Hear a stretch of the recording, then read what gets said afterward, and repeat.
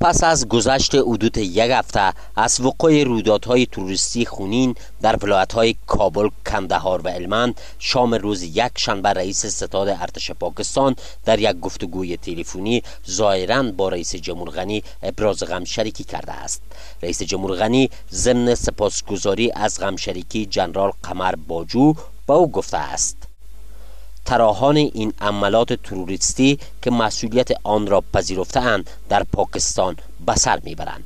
آزادانه فعالیت می کنند و افراد تازه برای عمله به هدفهای در داخل افغانستان استخدام می کنند و هنوز بر علیه آنها اقدام صورت نگرفته است.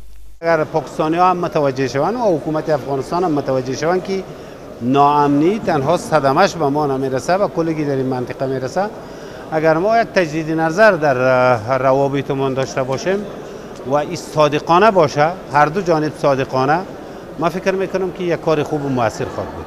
در پی منافع استراتژیک خود هستند. اگر در افغانستان امنیت به نفشان باشه همکار هستند. اگر نباشه نیست. آقای غنی هشدار داده است که تروریسم و افرادگرایی تعدید جدی برای منطقه و جهان است. و به دلیل نبود اراده جدی شماری از کشورها برای مبارزه با آن برای منطقه خطرهای جدی را متوجه می کند چند سال پیشتر پاکستان در این وضعیت قرار نداشت. امروز می بینیم در پاکستان هم اینمی انتحار و انفجار و حمله و اینمی مسائل است.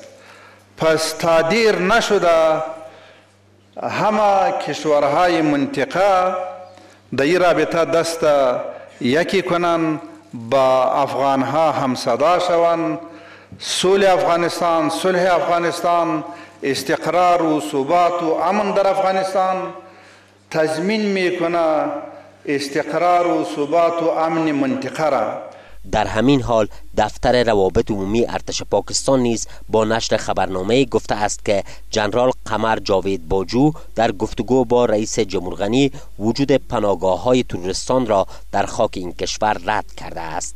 بر اساس خبرنامه رئیس ستاد ارتش پاکستان از عملیات ضرب غصب نیروهای پاکستانی بر ضد افغانان یادآوری کرده و گفته است که در این عملیات تمام تورستان را هدف قرار دادند و مراکز آنان را از بین بردند